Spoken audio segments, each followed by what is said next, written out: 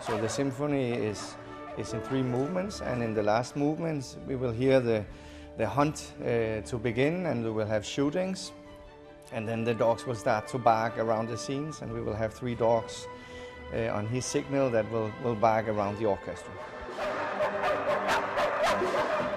We, we like we like uh, classical music very much in our family, uh, and we have been to several of their concerts.